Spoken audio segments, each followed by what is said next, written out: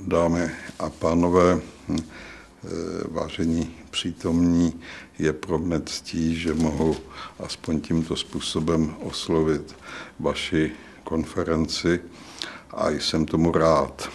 Především proto, že mi je velmi blízké její téma.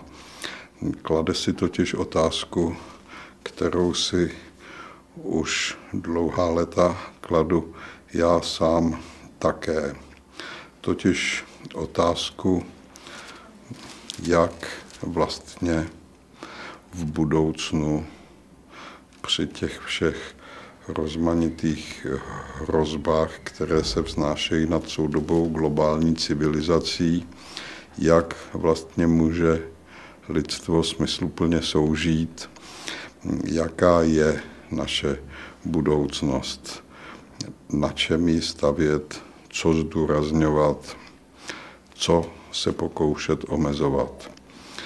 Já se domnívám, a pravděpodobně v tom jsem zajedno s mnohými z vás, že nejdůležitější asi je zbavit se píchy, pyšného vztahu člověka k bytí, k vesmíru, k přírodě, k zemi a rovněž jakési píchy, píchy moci.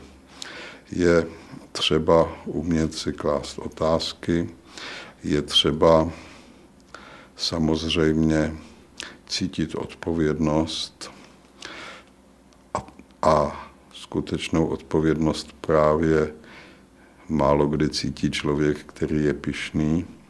Cítit odpovědnost hm, každého z nás k této zemi, k lidskému soužití, k vzájemnému respektu kultur, k, k různým civilizačním okruhům a jejich kulturám.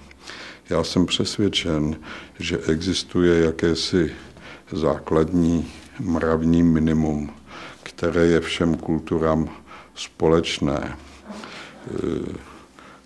Úcta k lidské důstojnosti, respekt k základním lidským svobodám, lidským právům.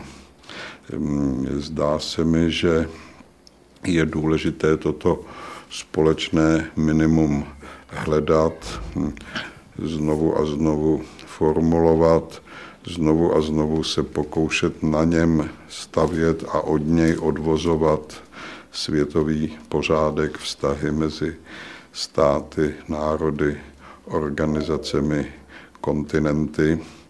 A mm, zdá se mi, že mm, bytostnou součástí takovéhoto postoje, takovéhoto hledání, takovéto odpovědnosti musí být úcta k druhému, úcta k tomu, kdo je jiný, úcta k zemi, kterou obýváme, k jejím zdrojům, úcta k přírodě a samozřejmě úcta i k vlastní historii, k vlastním kulturním tradicím.